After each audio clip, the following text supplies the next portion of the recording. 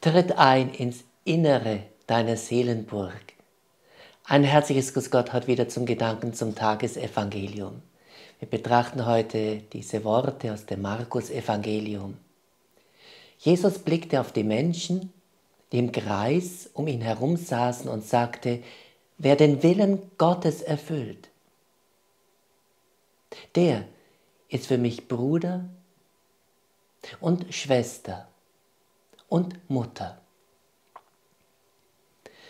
Der heilige Theresia von Avila klagte, dass viele Menschen sich außerhalb ihrer Seelenburg aufhalten und sich nur mit der Außenmauer beschäftigen. Mit anderen Worten heißt es, für viele Menschen ist nur das Äußere wichtig, nämlich ihr Körper, Wohlergehen, Essen und Trinken, Gesundheit, Spaß und so weiter. Es sind diese, die sich nach den Worten des heiligen Markus draußen befinden. Jesus lädt uns ein, ins Innere unserer Seelenburg einzutreten, ins Heiligtum unserer Seele, wo er selbst wohnt und uns mit seinem befreienden, heilenden und heiligenden Wort beschenken will. Ja, mit seinem Frieden, seiner Freude und mit Gottes Liebe. So besteht also der erste Schritt, um den Willen Gottes zu erfüllen und zum engen Kreis der Familie Jesu zu gehören, darin, zu den Füßen Jesu zu sitzen und seinen Worten zu lauschen.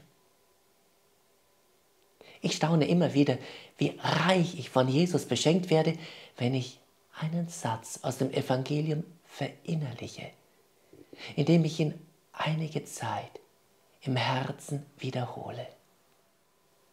So vereinen wir uns mit der Liebesweisheit Gottes und schließlich mit der lebendigen Liebesflamme Gottes. So werden wir bereit und mit Gottes Kraft dazu fähig, die Liebe Gottes hineinzutragen in unsere liebeshungrige Welt. Im Namen und in der Kraft Jesu Christi von Nazareth, der uns seine, ja Gottes Weisheit und Liebe schenken will.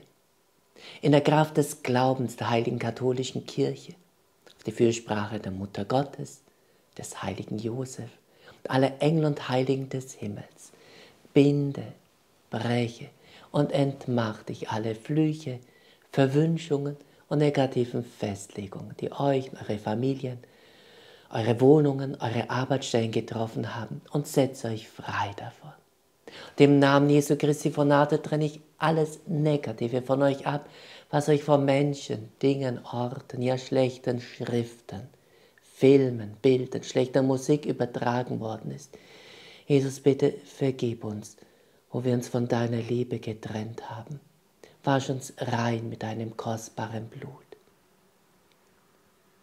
Und möge die Allmacht Gottes des Vaters, die Weisheit Gottes des Sohnes, die Liebeskraft des Heiligen Geistes euch von all euren Bedrängnissen, Ängsten, Krankheiten und Leiden heilen und befreien.